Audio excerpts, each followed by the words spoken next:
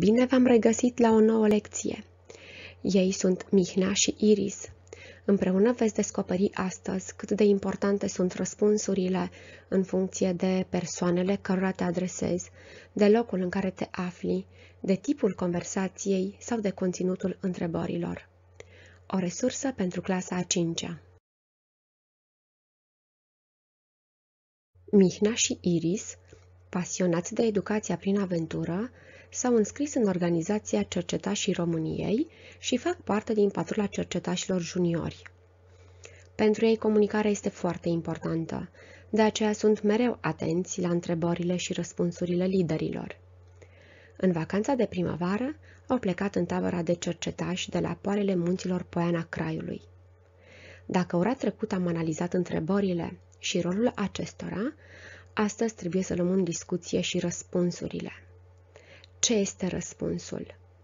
Răspunsul este o comunicare orală sau scrisă generată de o întrebare adresată cuiva. Opriți filmarea. Priviți cu atenție imaginea și formulați cât mai multe răspunsuri pentru următoarea întrebare. Ce activități credeți că se desfășoară în tabăra de cercetași? Comparați răspunsurile. Ce ați observat?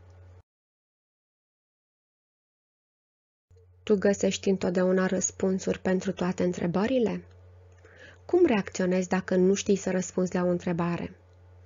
Pentru a da sau pentru a primi un răspuns așteptat, vei ține seama de următoarele caracteristici. Răspunsul trebuie să fie corelat cu întrebarea. Răspunsul trebuie să fie clar, ușor de înțeles, fără confuzii. Răspunsul trebuie să fie adaptat situației folosindu-se un limbaj potrivit situației în care este furnizat.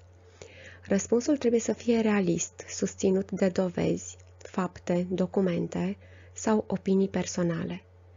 Ca o concluzie, răspunsul trebuie să fie potrivit, corect, complet și adevărat.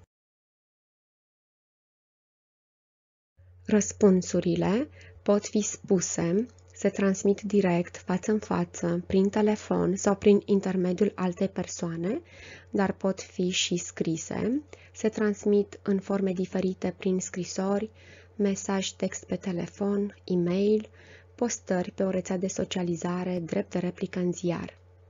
Ce trebuie să mai știți? Că răspunsurile se transmit prin gesturi, mimică, poziția corpului, Atitudini care însoțesc vorbele Sub deviza Gata oricând, imaginează-ți că ești cercetaș pentru o zi și trebuie să formulezi răspunsuri potrivite următoarelor întrebări. De ce crezi că anul acesta nu se mai fac înscrieri pentru cercetași? De ce nu ai bursă? De mâine nu mai mergi la nicio activitate extracurriculară. Cum explici că Mihai nu este acceptat în patrula cercetașilor juniori? Este o rană superficială. Nu poți aștepta până mâine? Menționați ce drepturi ale copiilor sunt respectate sau încălcate în fiecare situație. Explică alegerile tale. Întorși din tabără, Mihnea și Iris trebuie să prezinte la ora de geografie proiectul Minunile Terei. Mihnea nu a reușit să finalizeze proiectul. De ce nu ai finalizat proiectul?